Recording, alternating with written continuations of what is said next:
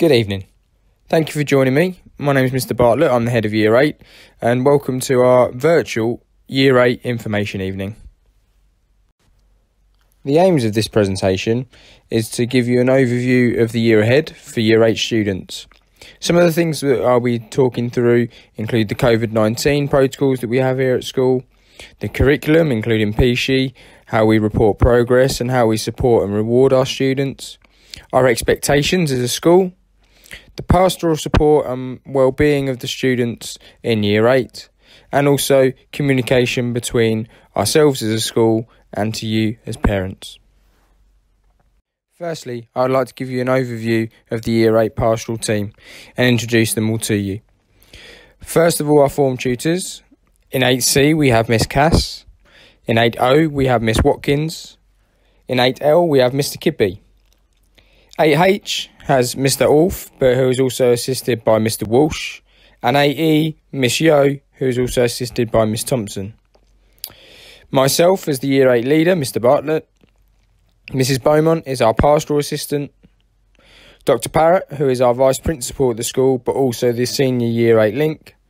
And we have Mrs. Jackson, who is the associate to the principal and CEO, but is also in charge of safeguarding. Our SENCo is Mrs. Daniels. Initially, I'd like you to talk you through the COVID 19 procedures and protocols we have on the school site.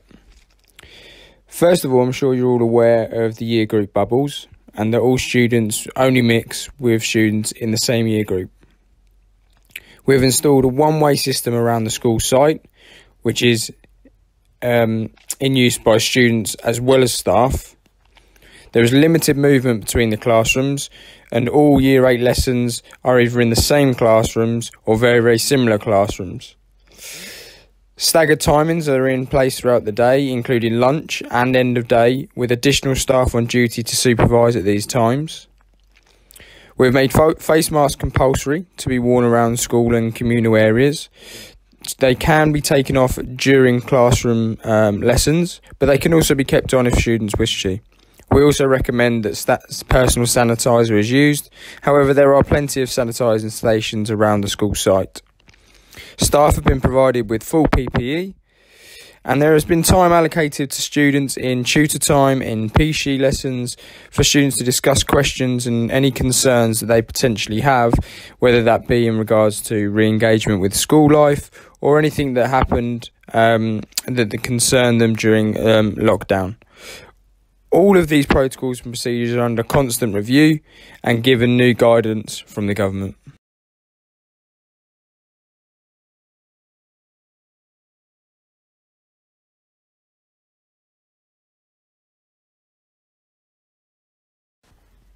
Okay, the overview of the Year 8 curriculum and examinations for this year.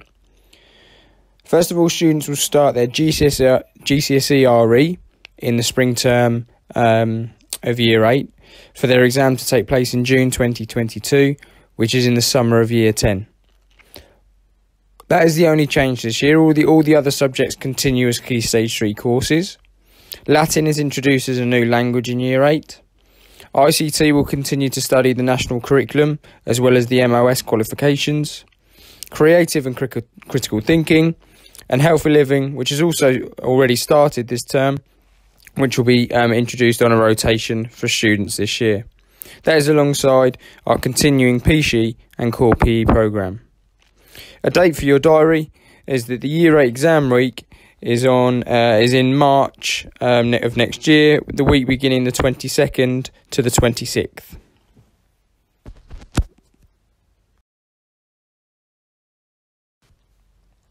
On the next slide is an overview of the PSHE programme in Year 8. PSHE will continue to take place on a Monday, period three, and students will have that once a week. Students will recognise some of the topics from Year 7, and it's an opportunity in Year 8 to discuss those topics and issues further and to explore new learning. Some um, topics will be new to Year 8 and will probably reappear further down the school. Year 8 is an opportunity um, to explore uh, the careers program a little bit further, something which I'll explain a little bit more on the next slide.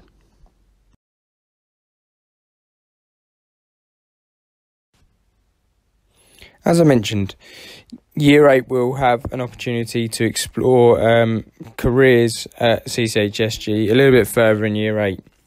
In the spring term, they'll have an opportunity to investigate different career opportunities and to consolidate their awareness of the myriad of opportunities ahead of them in their life. This is in preparation for and the build up to choosing their GCSE exam subjects going into Key Stage 4 and how that will affect certain career pathways um, following on from school into the sixth form and then further education and employment beyond. The support network for the careers uh, pathways here at, here at school are uh, are as follows. Firstly, Mrs. Mandel is our um, careers lead. Mrs. Key is our independent careers advisor, who is available to book appointments with um, upon uh, request. And we also have a careers library and interactive ICT resources, which students will have the opportunity to use um, in, mainly during PC lessons later on in the year. Something which I would like to highlight now is the Year 8 tutor group mix at the end of the year. At the end of the year, students will be uh, mixed around into new tutor groups ready for the start of Year 9.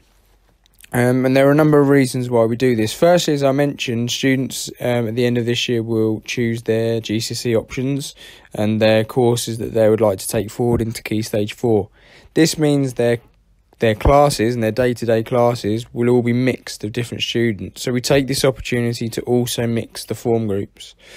Um, this allows for an opportunity to mix with different students within the year group, um, something that we would like to encourage our students to do.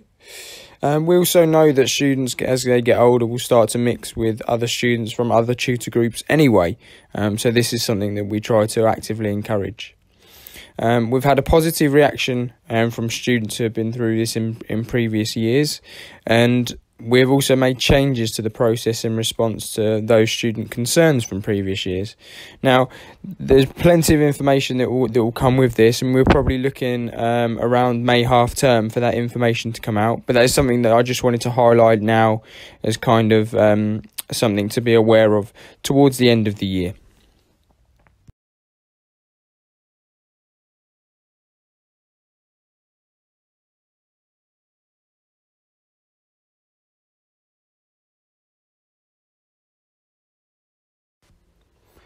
Something else to be aware of going into Year 9 is the Year 9 matrix. The Year 9 matrix is um, something that blends the transition between the Key Stage 3 and Key Stage 4 programme. Um, and the curriculum in Year 9 aims to be fluid with an opportunity to explore different GCSE options if required. The matrix consists of a flexible and balanced curriculum, the co curriculum, STEM opportunities, trips and visits, optional instrument lessons, and program enrichment days. The matrix provides opportunities for students to access subject areas that they may, non, may no longer sorry, be formally studying as part of their GCSE preferences. The enrichment days will focus on computer science, creative arts, geography, history, the environment, well-being, and enterprise education. Some elements of that matrix will allow uh, students to have the opportunity to take additional qualifications and this is to enhance a, a well rounded um, curriculum and education. More information on this can be can be uh, seen in the information booklet.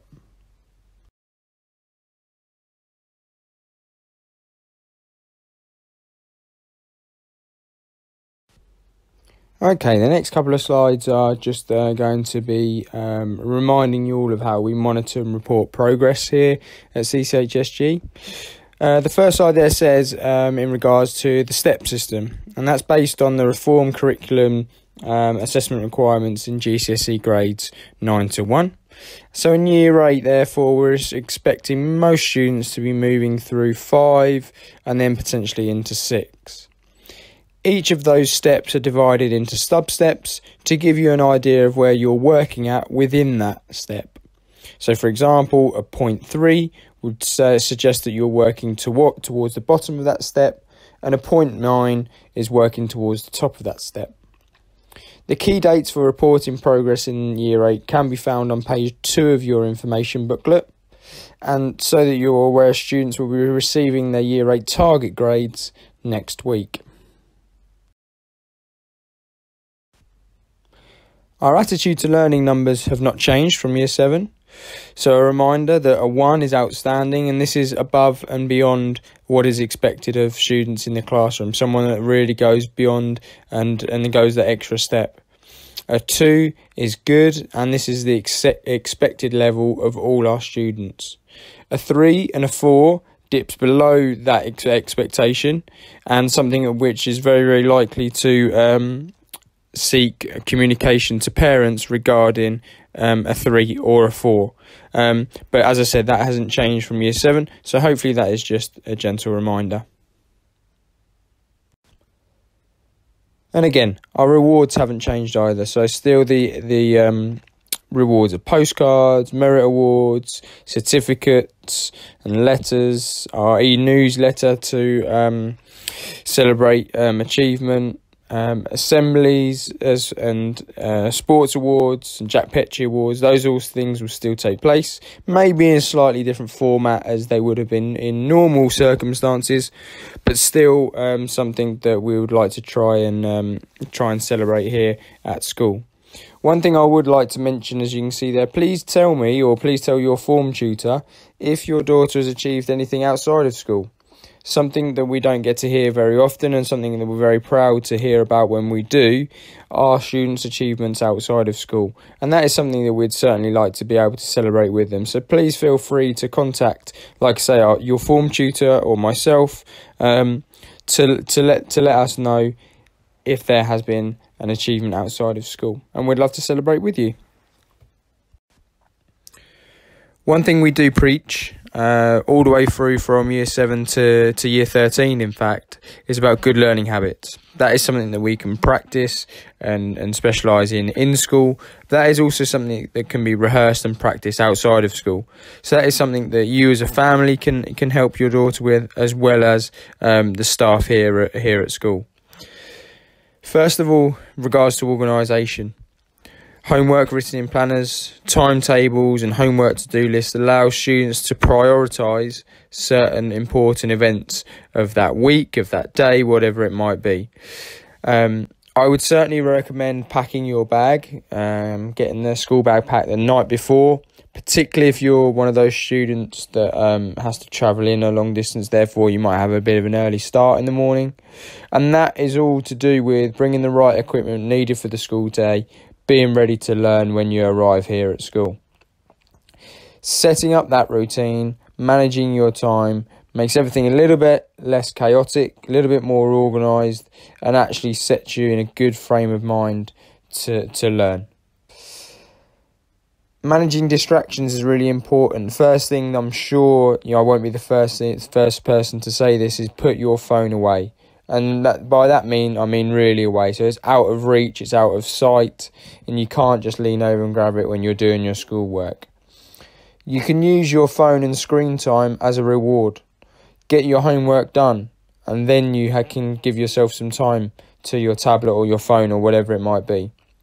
Okay, but don't just have it there as an easy distraction and you won't be able to focus. Okay, we don't allow you to have them in in school and in class. Okay, and that for that reason, get used to that habit whilst working away from school as well. All right.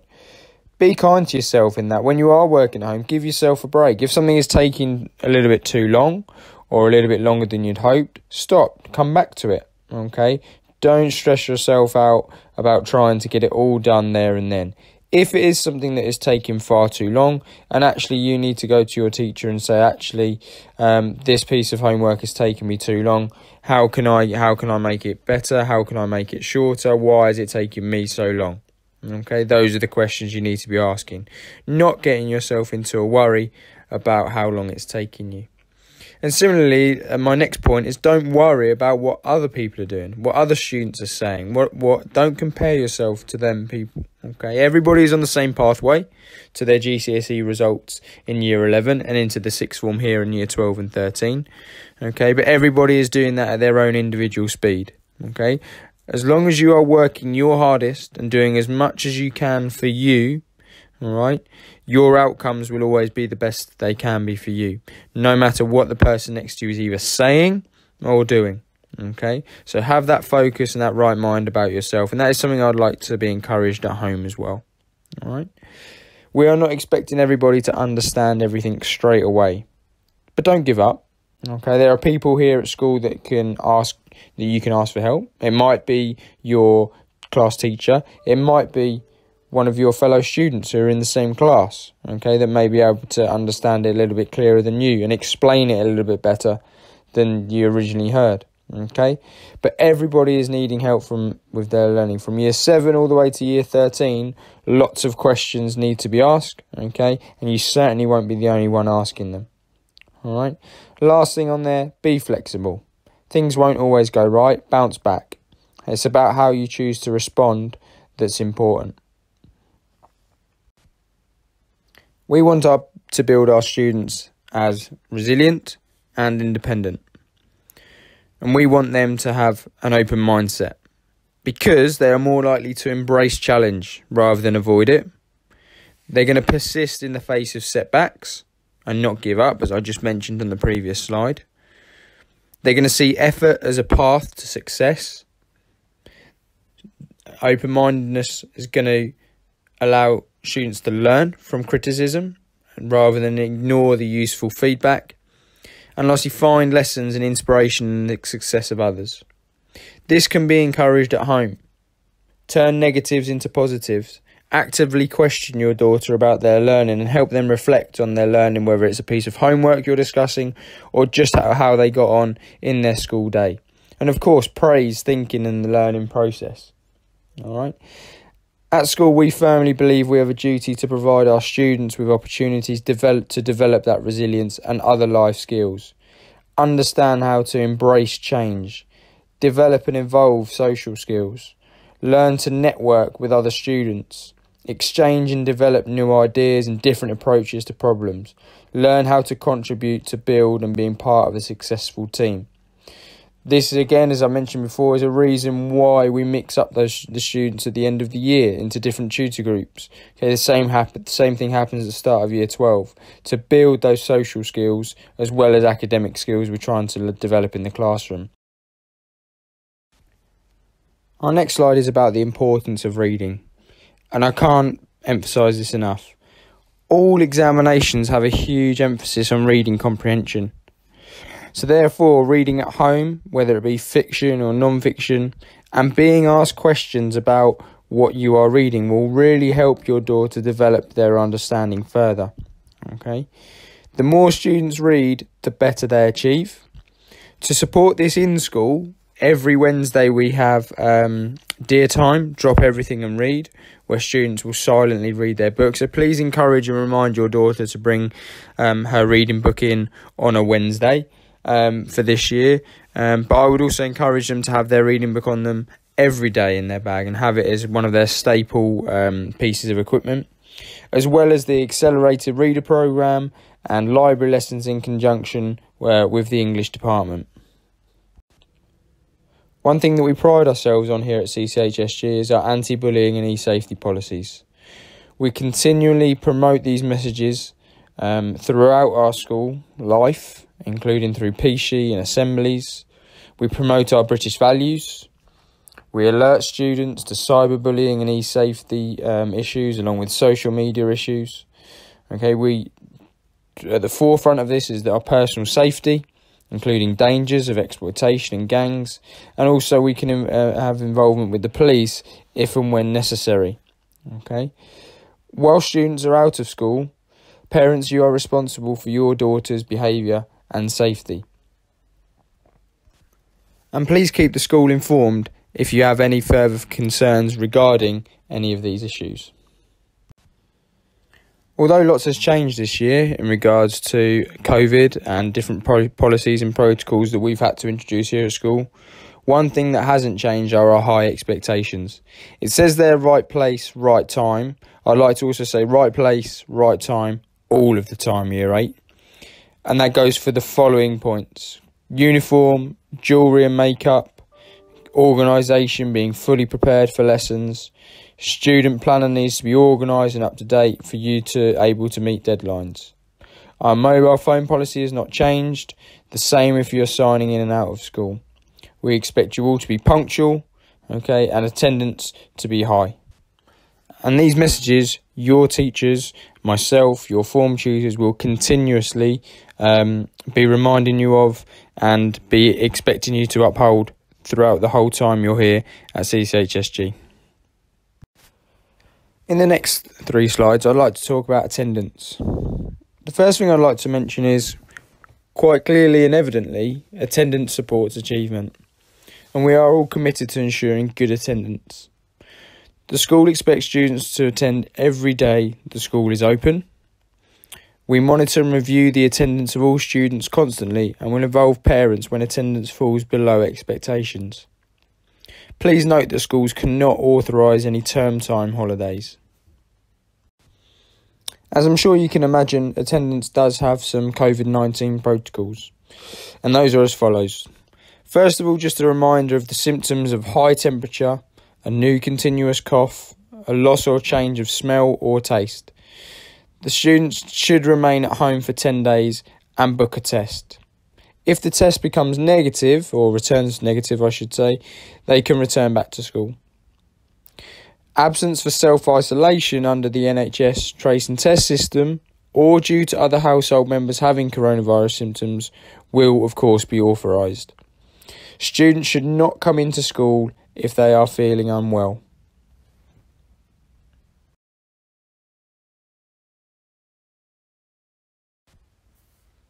One thing I know that concerns our students greatly was is when they're off school or missing school, is about the work that they are missing um, on on that day or, or those days.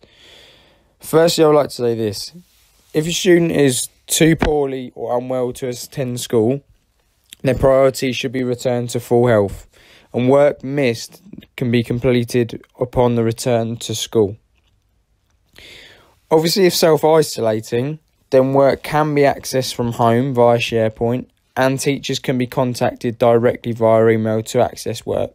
But I'll always refer to my first point. If a student is off unwell and unable to uh, be in school for that reason, then they should concentrate on returning to health and rest and recuperate and not worry about work while they are off. And that can be caught up when returned to school um, and in better health.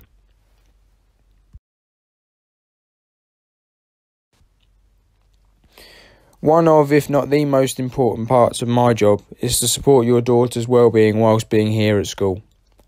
This is done in a number of different ways. One of those things is the PSHE program, where it's an opportunity for students to discuss and talk about topics that they might be finding challenging, either in school or outside of school. We have an expansive PE and fitness curriculum, okay, which brings added benefits to supporting physical and mental well-being. We have our healthy lifestyles program. We encourage throughout to talk to others, whether whether that be um, your daughter's friends peer group, form tutor, teachers, head of year, pastoral assistant. We have our wellbeing ambassadors team. We have a student voice. We have a head girl team. So plenty of people for um, our students to talk to. We have our pastoral team, which I went through right back at the very start of this presentation. On top of that, we have our school nurse. We could also have, um, and very fortunately, have our very own school counsellor, which potentially could be um, made an appointment for by for your daughter through uh, a referral by myself. And if need be we have access to external agencies if we feel the need to make a referral. But all in all a well-rounded team and support network for your daughters whilst here at school one topic regarding well-being I would just like to mention before this presentation ends, and something that I see um, even more of in, in my role as head of year, um, is stress and anxiety. And we talk about this a lot, um, whether it's in the media or whether it's here at school. Um, we're hearing about this a lot, especially with young people uh, is more than 10% of 5 to 15 year olds are affected by emotional well-being or mental health issues and that is rising every day okay stress is our body's way of coping with the demands placed on us and that can be good and motivate us to achieve but also can be damaging and cause ill health if there are too many pressures at once. So we have to acknowledge the warning signs to be in control and develop coping strategies. And this is something that we can do here in school through that well-being support system I just discussed, or that can be supported uh, at home amongst the family. One thing that I would always say and want to stress is that stress is a part of normal life. Okay, there's a saying that says that only growth and success can take place outside of our comfort zone. So, being stressed or anxious for the upcoming test is normal for um, certain situations um, that potentially appear. Um, for, you know, at the end of the year, for example, changing tutor groups for picking GCSE options. Being anxious or worried about those things is normal, but it's about how we deal with that and how we cope with that, and that allows us to be successful. Uh, but that potentially is going to take place outside of our comfort zone. So it's important to recognise that. If there's too much pressure placed upon us at one particular time, it can cause a number of different effects. Okay, we could feel anxious and panicky, could start to have problems sleeping, okay, either sleeping too much or too little. We might feel exhausted and always tired. We potentially could um, develop some bad eating habits and we could overeat or even undereat. Poor concentration levels, either in the classroom, at school, or at home. We might even find it difficult to actually make decisions and we start to overthink problems. Okay, and the last one on there can affect our relationships with our friends or with our families or with our, our teachers and therefore affect how we socialise. And these are some very simple ways and practical ways that we can combat stress. And these can be done in school and at home. So, first of all, your diet and nutrition, particularly breakfast, and particularly for those of you who have early mornings that you might have to travel um, a fair distance to get to school. Make sure that you have something to eat in your body and you're fueling your body ready to learn. It's not only fueling your body body physically but mentally as well and that makes you a better learner, particularly in the mornings. Have a constant hydration. Okay, I'd expect everybody to be carrying water bottles, and there's plenty of ways that you can fill your water bottle up at school in the day and keep your hydration levels topped up. Exercise is really important. It releases the positive endorphins, which is a chemical in your body which makes you feel better.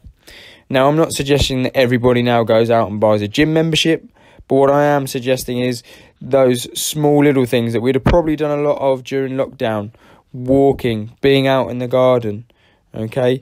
Not necessarily becoming the next best um, netballer or footballer. I'm not talking necessarily in those terms, but just being outside, being physically active to release those positive endorphins. And we can all be doing that.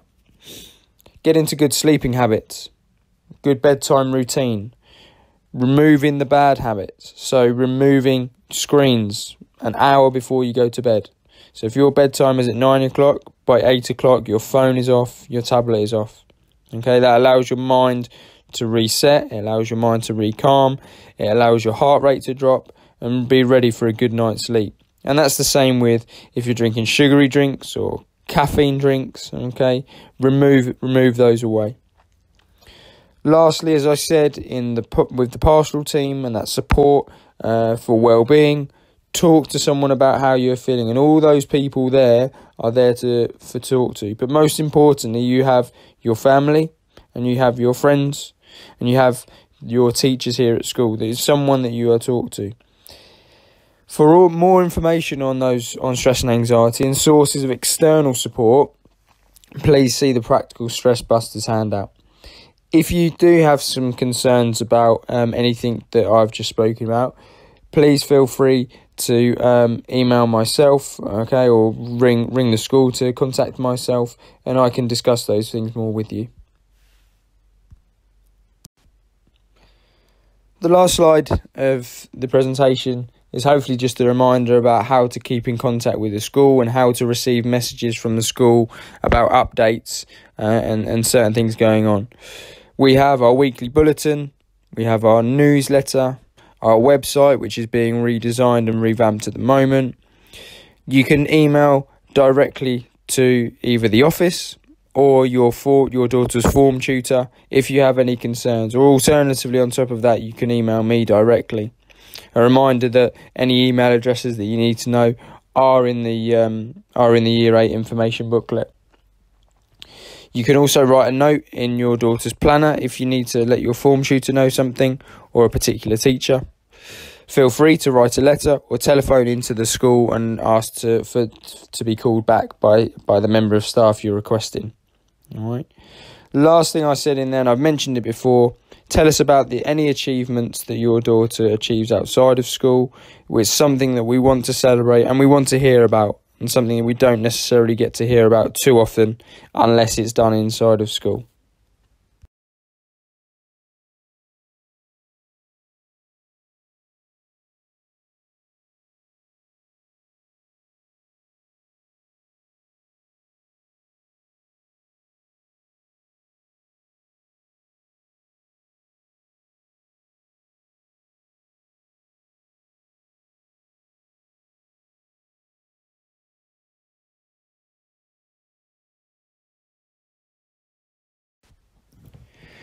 That does bring our virtual information evening to a close.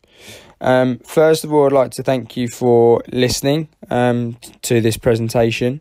Um, if anything that I've said is confusing or raises a few more questions or something that you'd like to further information on, as I've said before, please contact um, please contact the school. My first advice would be to contact your daughter's form tutor initially.